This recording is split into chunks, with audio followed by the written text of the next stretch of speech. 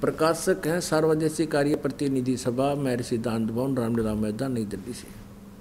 ऋग्वेद मंडल नंबर नौ, सूक्त नाइन्टी सिक्स छियानवे का, और ये सोलवा मंत्र है। इसमें क्या कहा है कि हे परमात्मन हे परमात्मन, सर्वोपरि रहस्य, चारों माने श्रेष्ठ, नाम जो तुम्हारी संज्ञा, यह अनुवादकर्ता ने गड़बड़ी करने की चेष्टा की है। गुहम चारु नाम।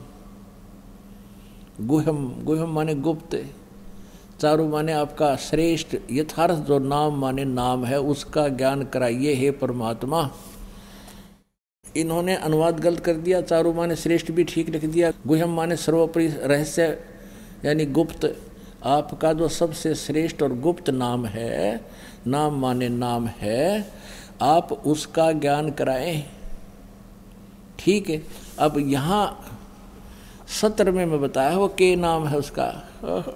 शिशुम जगानम, ऋग्वेद मंडल नंबर नौ, सूक्त नंबर एक के। मंत्र नंबर नौ में लिखा है कि जब वो परमात्मा शिशु रूप धारण करके आता है तो कुंवारी गाय से उनकी परवरिश की लीला होती है।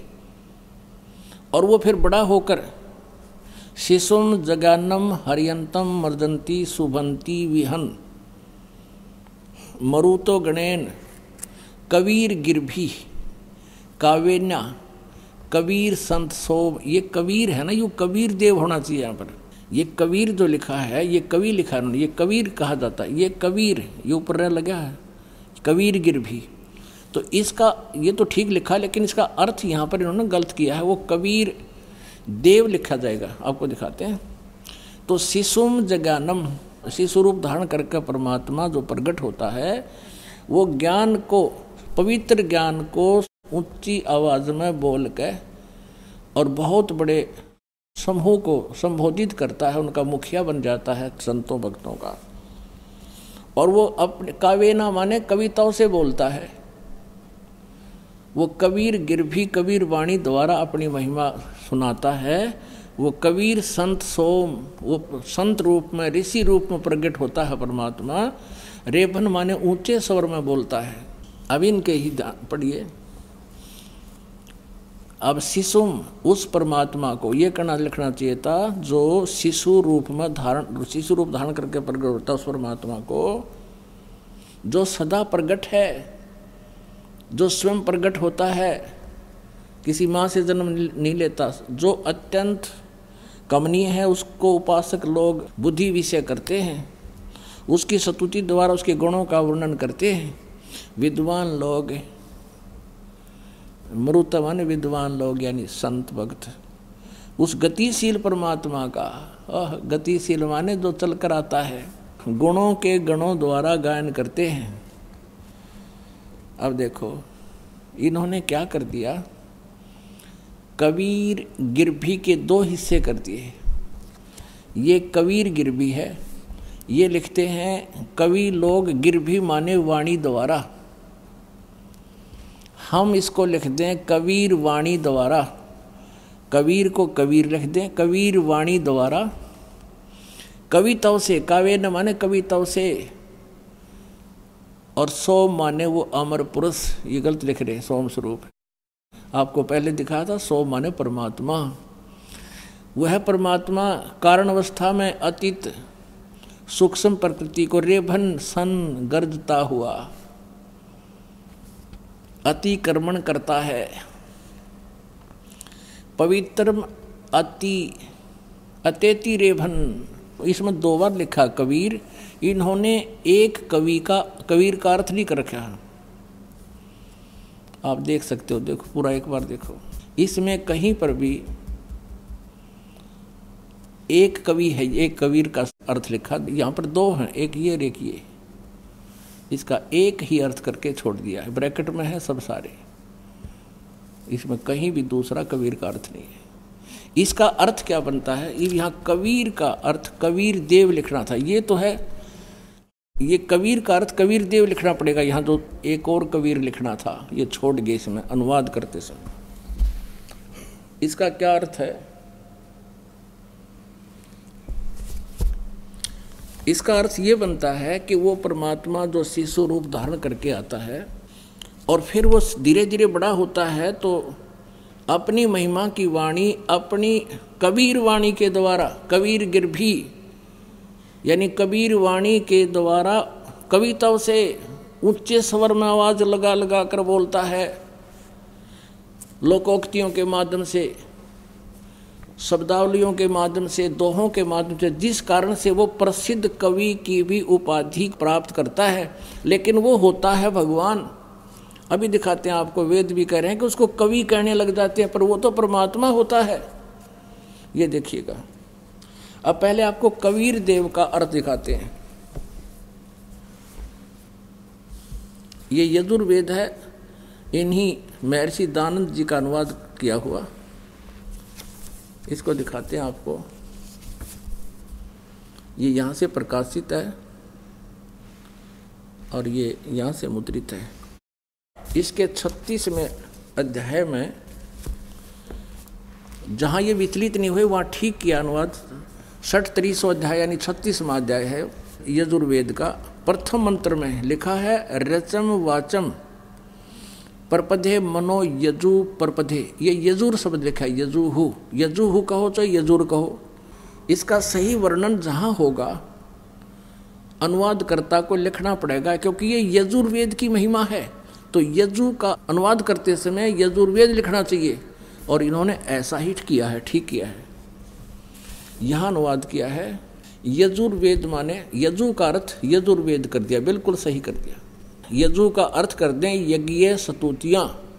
तो कैसे ढूंढेंगे ये यजुर्वेद की महिमा हो रही है? वो बिगड़ जाएगा अनुवाद सारा।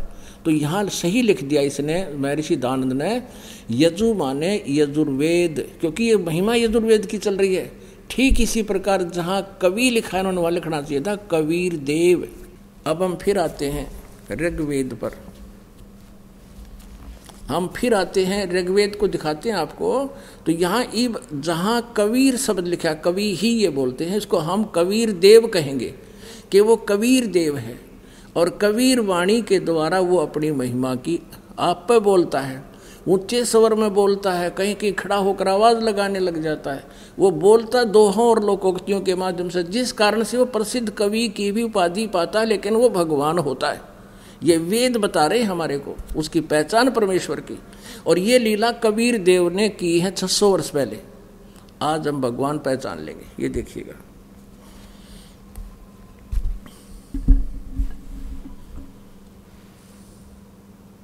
ये ऋग्वेद है।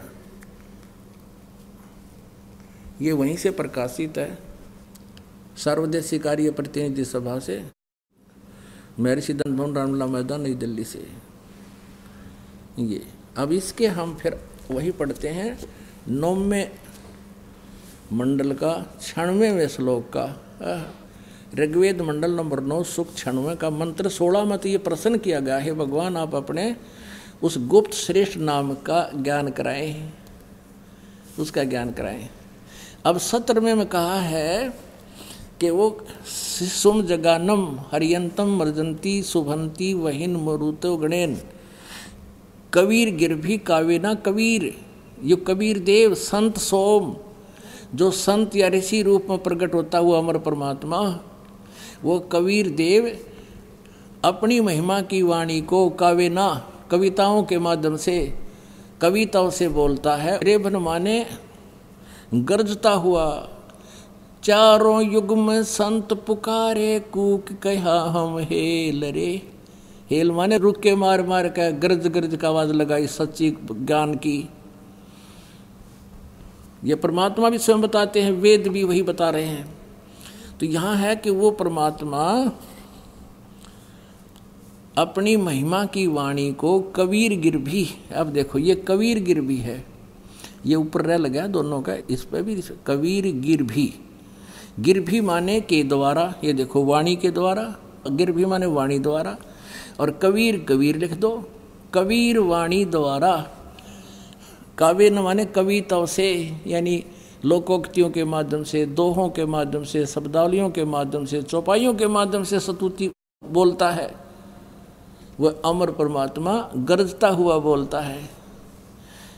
वो अमर परमात्मा होता है, वो संत रूप में प्रकट होता है। और यहाँ लिखा है अठारहवें में कि ऋषि मना ये ऋषि कृत। सवरसा सहस्र अणथ सहस्र अणिथ है पदवी कवि नाम।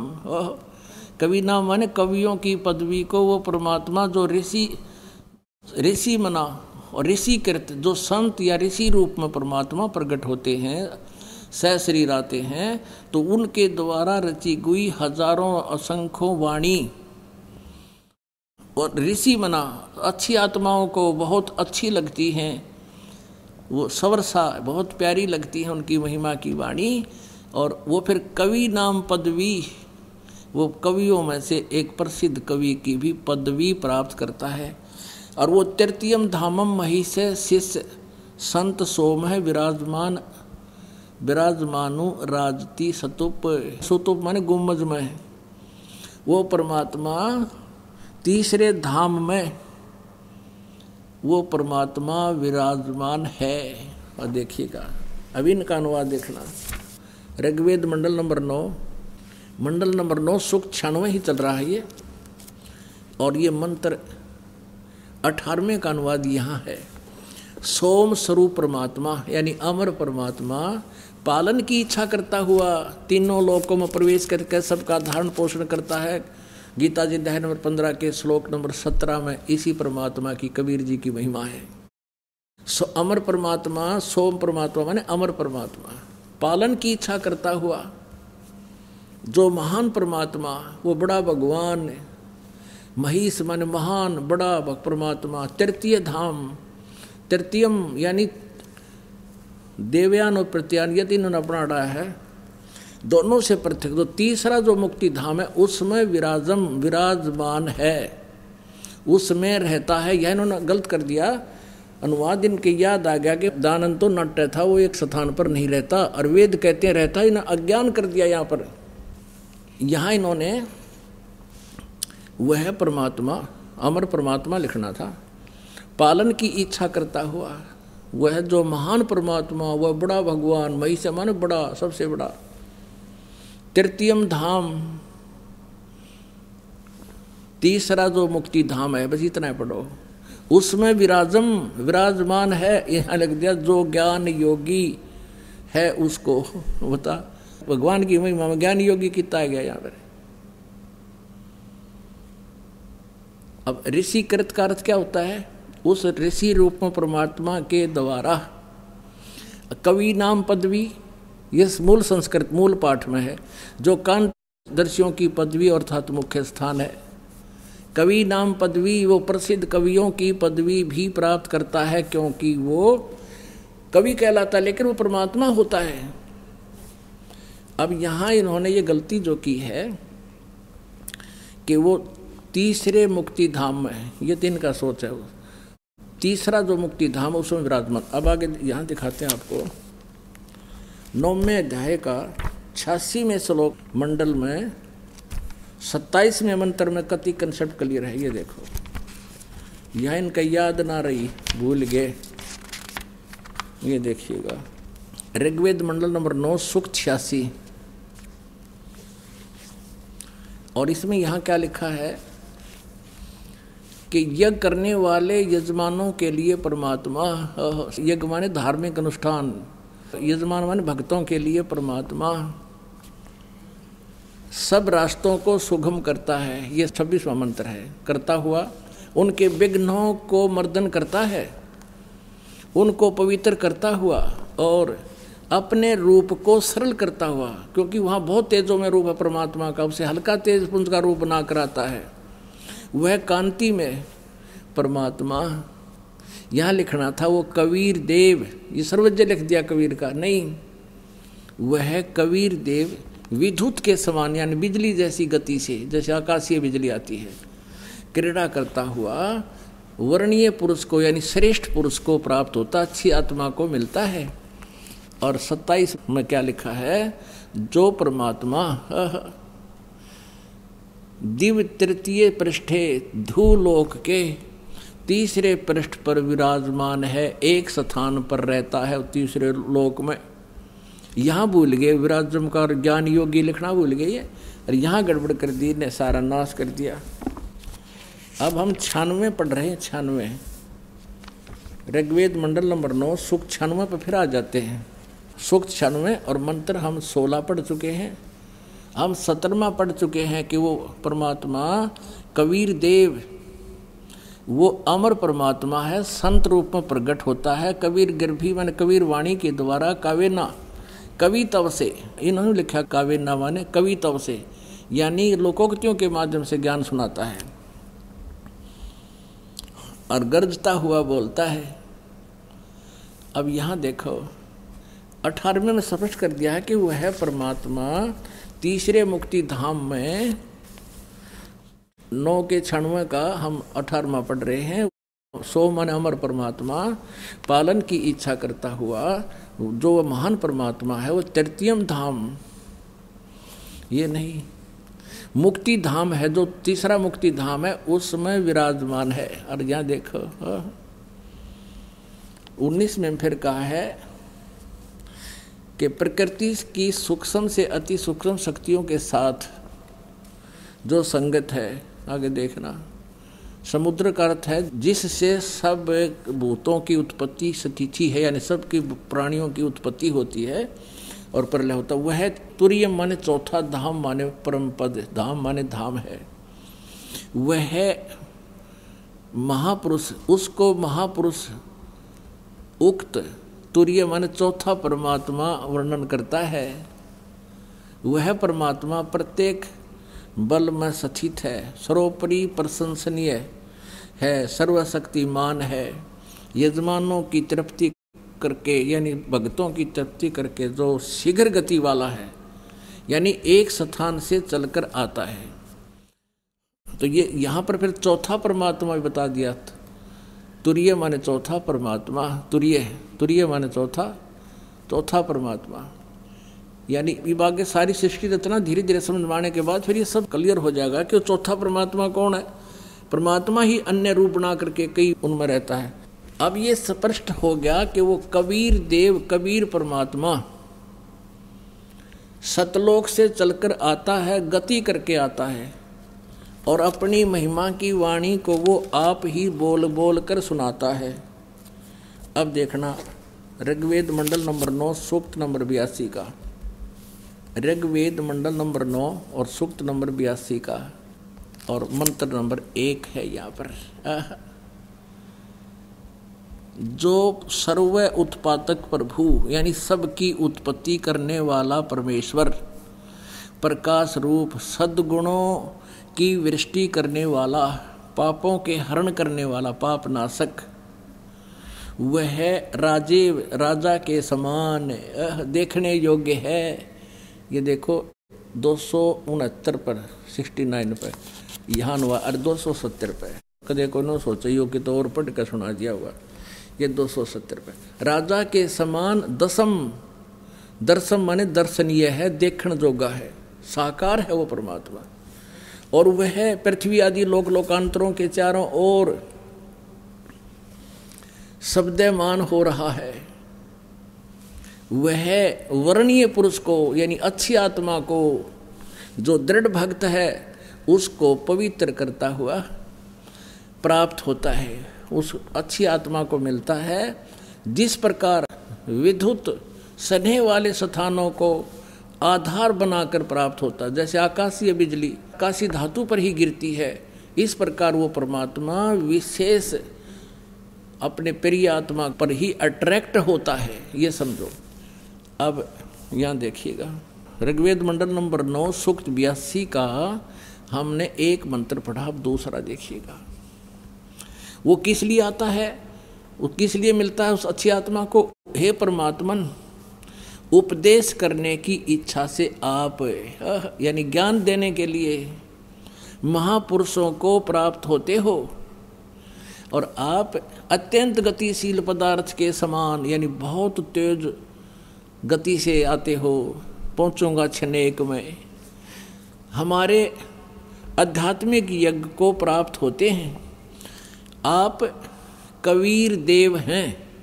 यहाँ लिखना था सर्वज्ञ नहीं कवि का अर्थ सर्वज्ञ हो ही नहीं सकता। कोई कवि आज तक सर्वज्ञ हुआ है? ये कबीर देव लिखना था जैसे यजु, जहाँ पर यजु लिखा है यजुर्वेद कहीं महिमा है उसकी तो वहाँ लिखना पड़ेगा अनुवाद करता ना, वो यजुर्वेद। क्यों महिमा यजुर्वेद की तो यहाँ कबीर देव की महिमा चल रही है। तो ये लिखना, आप कबीर देव हैं। हम उसे कबीर साहब कहने लगे देव माने साहब कहो, चाहे परमात्मा को भगवान कहो, पुरुष कहो। आप कबीर परमेश्वर हैं, कबीर साहब हैं। सद शुद्ध स्वरूप हैं। हमारे पापों को दूर करके, हे अमर परमात्मा, सो माने अमर परमात्मा, आप हमको सुख दें। अपने आत्माओं अब परमात्मा को पहचानना कितना आसान है और आँखों देखा उन महापुरुषों ने बताया। जिन मो को निज नाम दिया, सोए सतगुरु हमारे। दादू दूसरा कोई नहीं, ये कबीर सिरजनहार अनंत कोट ब्रह्मंड का एक रति नहीं भारे। सतगुरु पुरुष कबीर हैं, ये कुल के सृजनहार आदरणीय गरीबदास साहिब जी ने, आदरणीय दादू साहब जी ने, करतार माने सबकी सृष्टि रचने वाला, सबका सृजनहार आदरणीय नानक साहब जी ने, गुरु ग्रंथ साहिब महला पहला, प्रश्न नंबर चौबीस पर, फाई सूरत मलुकी वेश, ए ठगवाड़ा ठगी देश खरा सियाणा भोता भारिये धानक रूप रहा करतार बोलो सतगुरुदेव।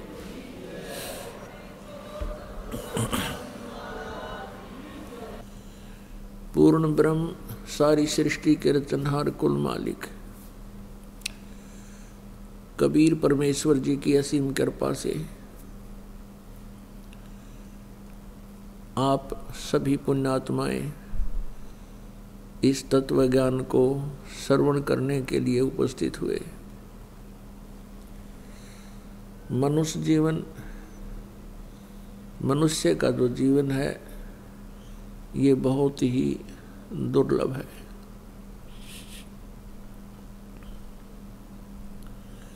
वो पुण्यात्मा है जिनको मानव शरीर प्राप्त होता है। उनसे भी पुण्यात्मा वो हैं जिनको सत्संग सुनने को मिलता है।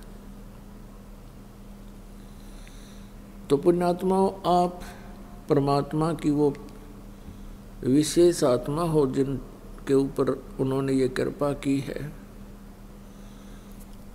कि आप जी को शरण में लिया है और आप जी को वो अनमोल वस्तु प्रदान कर दी है जो आज तक गुप्त रखी गई थी।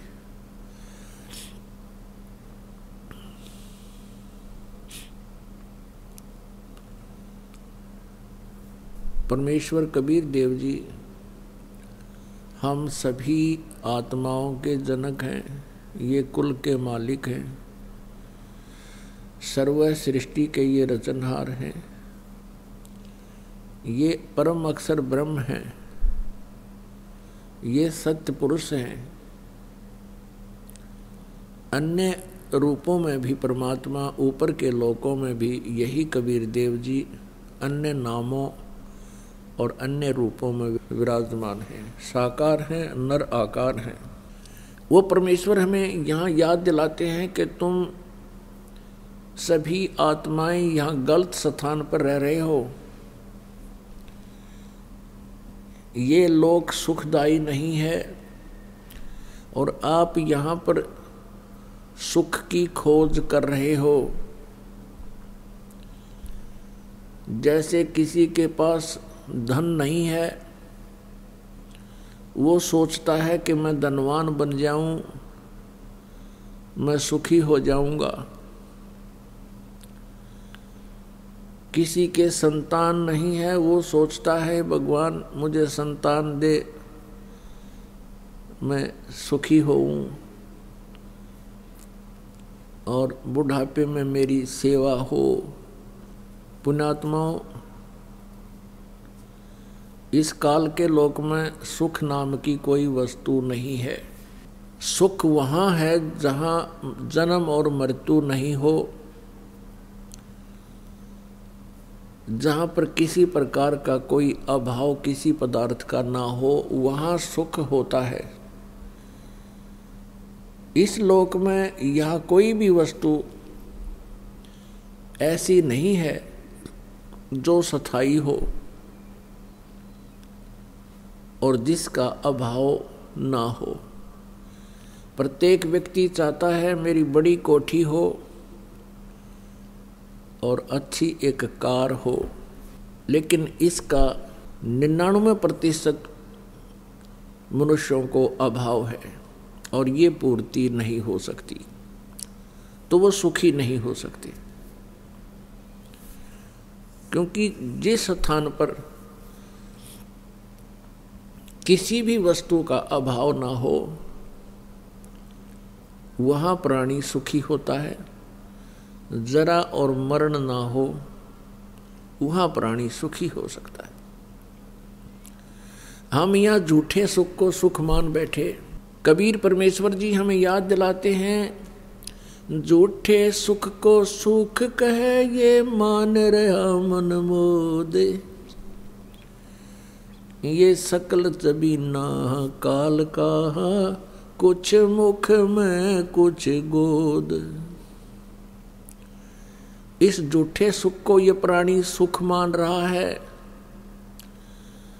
संतान होगी, सुख मान लिया। किसी कारण से मृत्यु होगी, टक्कर मारने लगे, रोने लगे, दुख हो गया।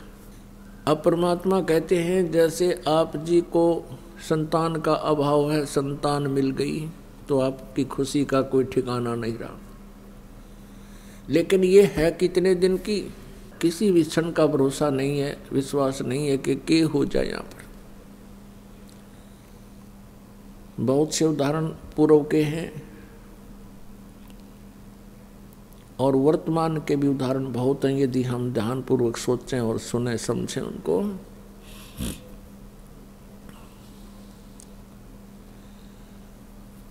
कि जैसे एक राजा होता है, उसको बहुत सुखी मानते हैं हम। एक मुख्यमंत्री किसी प्रांत का हम उसको बहुत सुखी मानते हैं। लेकिन उसको सुख नाम की चीज़ नहीं। कारण क्या है कि जैसे एक छोटे से परिवार का मुखिया, एक पिता चार पाँच सदस्यों के ही उनकी व्यवस्था में, प्रबंध में ही टेंशन ग्रस्त रहता है। और एक राजा बहुत बड़े अक्षेत्र का मुखिया होता है, पिता होता है। वो कैसे सुखी हो सकता है? लेकिन हमने सुख का आधार केवल एक या चमक धमक मान रखी है।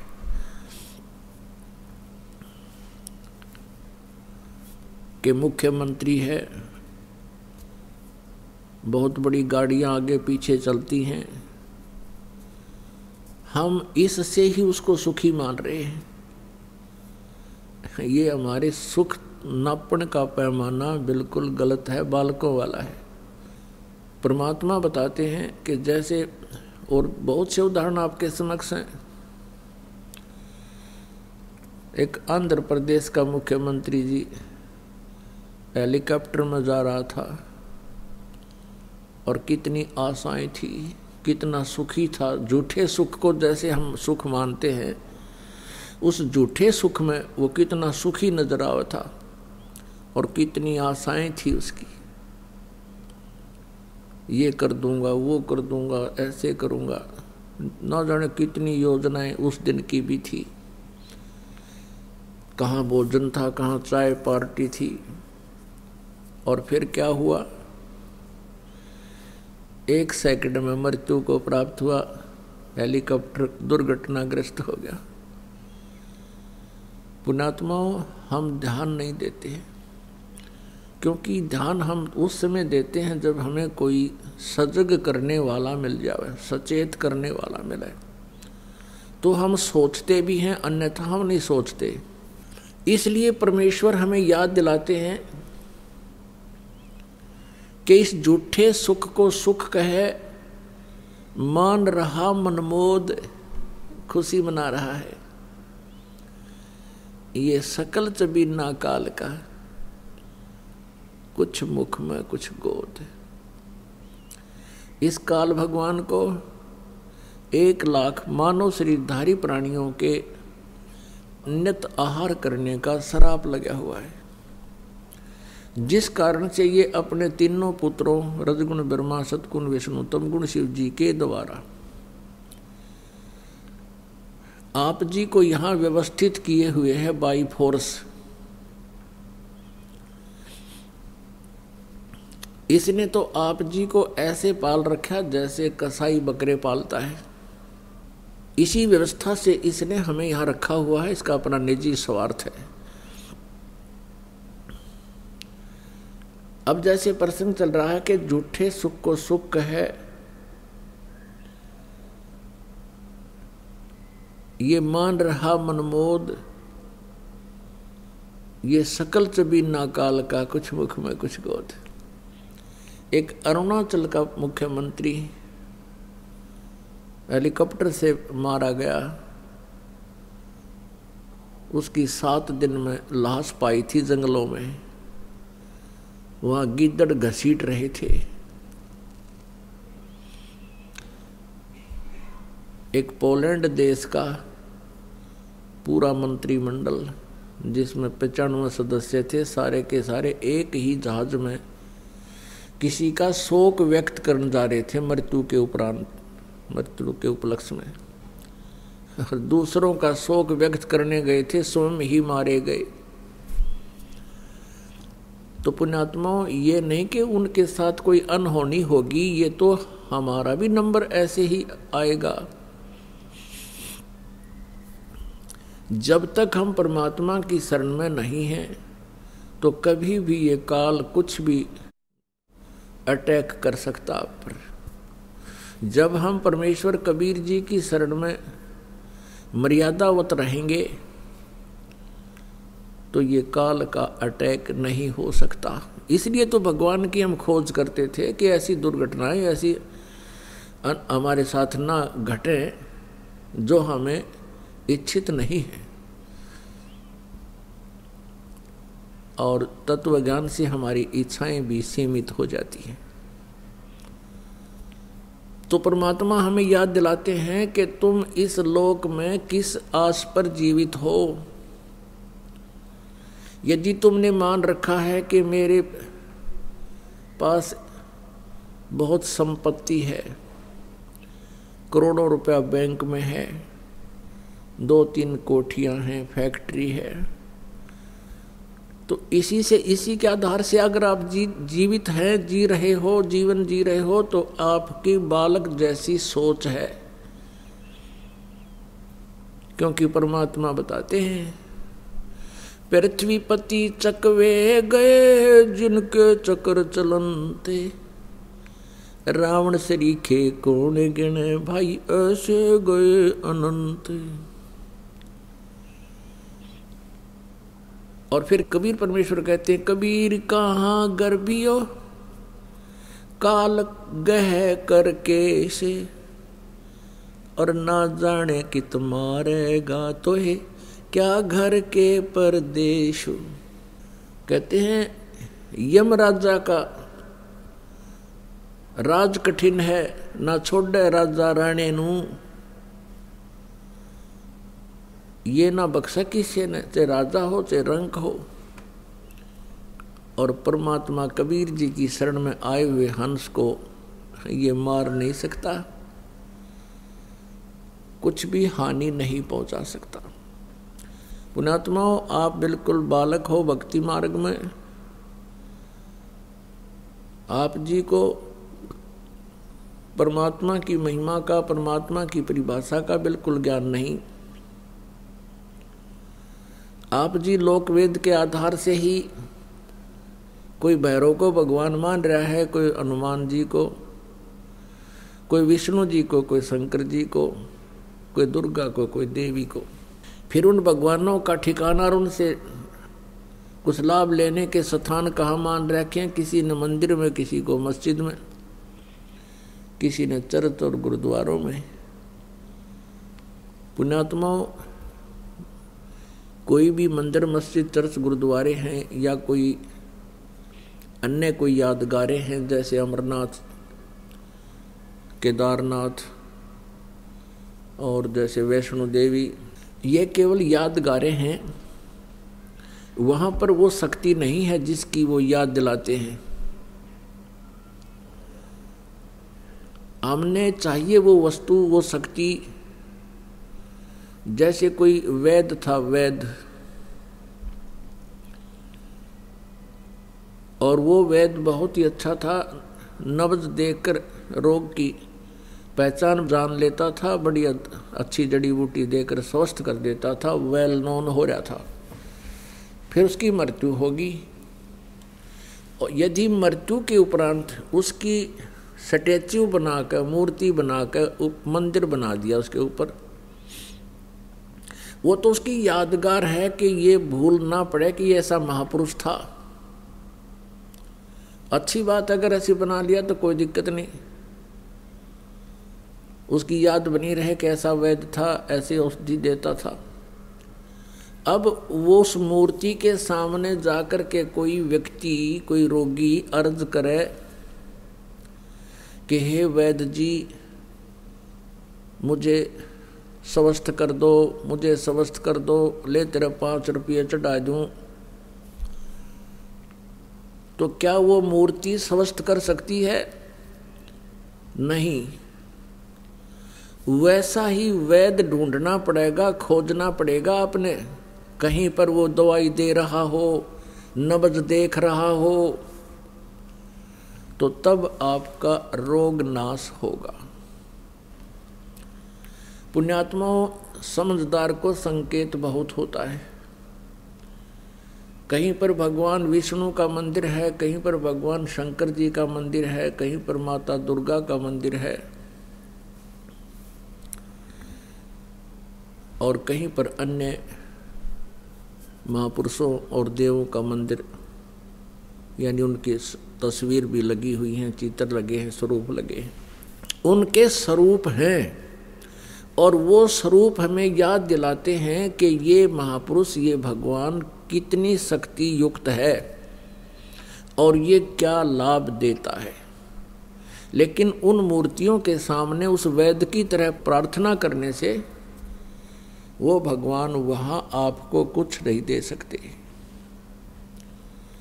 परमेश्वर कहते हैं, पर्वत पर्वत में फिरा, कारण अपने राम राम जैसे संत मिले हे, जिन सारे सब काम अपने आत्माओं जैसे इस अमरनाथ की स्थापना कैसे हुई?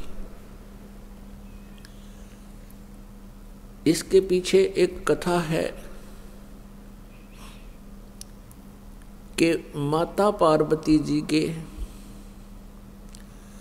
107 जन्म हो चुके थे, वो मर रही थी, फिर कहीं जन्म लेती थी और भगवान शिव से ही उसका विवाह होता आ रहा था।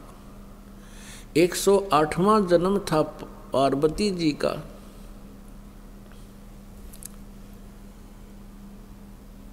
उसमें एक दिन हाँ उधर से भगवान शिव जी क्या करते थे? वो पार्वती जी से इतना प्रेम करते थे अपनी पत्नी से।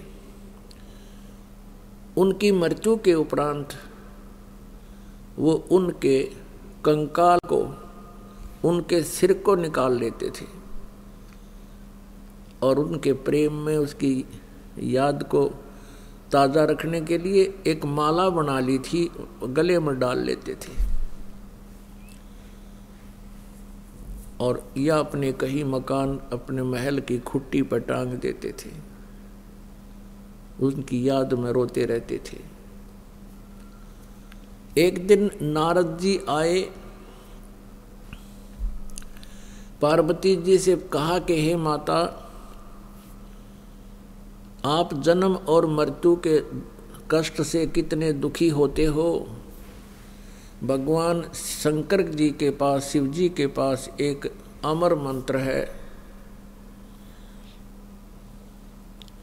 यदि वो आपको वो मंत्र दे दे जाप करने का, एक नाम है।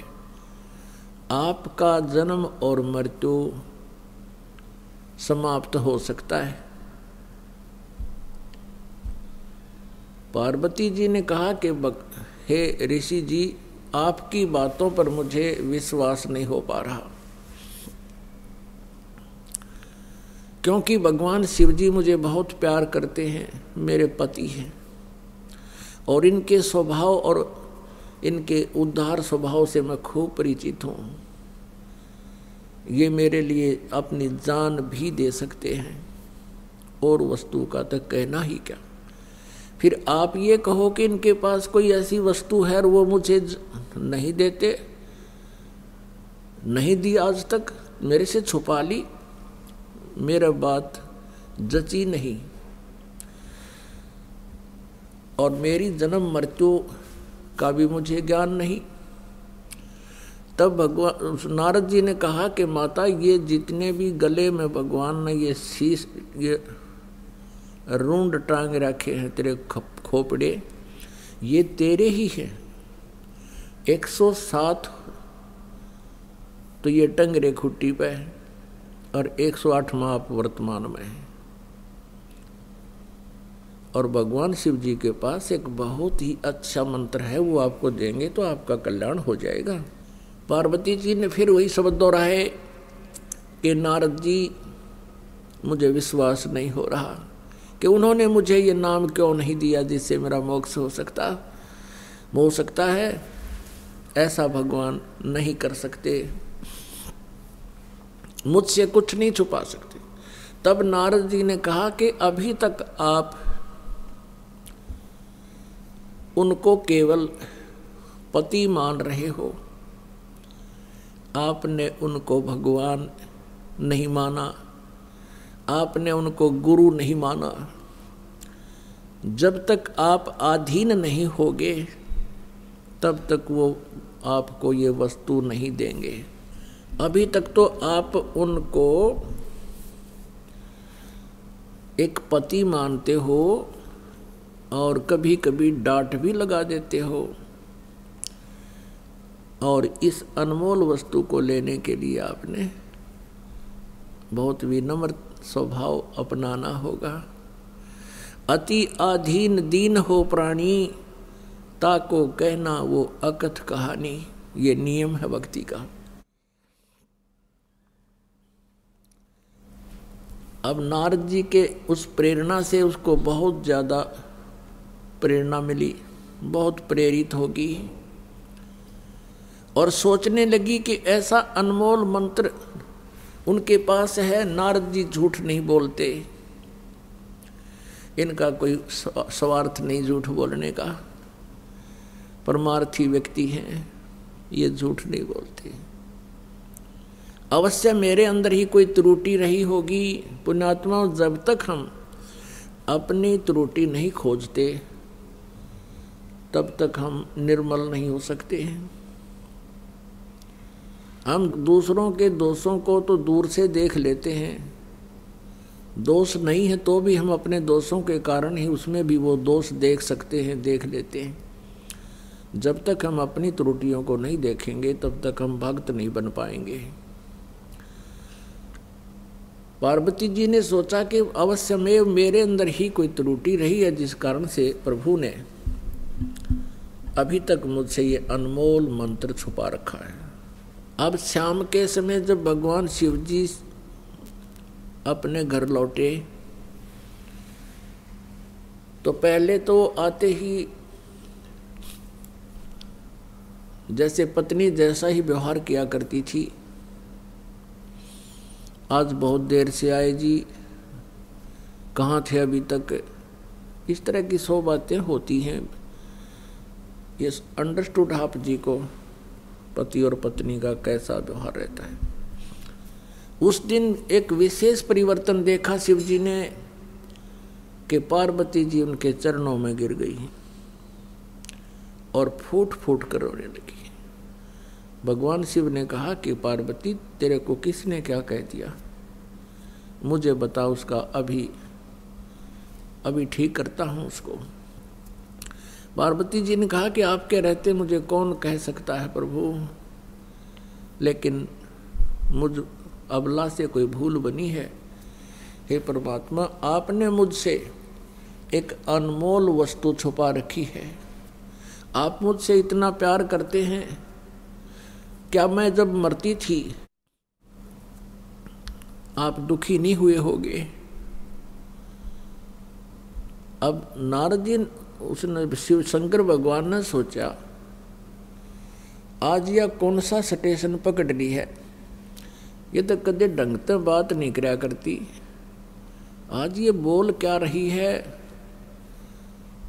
तब ना कहा, पार्वती जी ने संक्षिप्त में सारी कथा सुना दी है। भगवान आपके पास अनमोल मंत्र है। मैं 107 बार मर चुकी हूँ। ये शीश मेरे ही हैं, आपने कभी नहीं बताया। मेरे में कोई त्रुटि रही होगी, मुझे बालक समझकर माफ़ कर दो, मुझे वो मंत्र दे दो।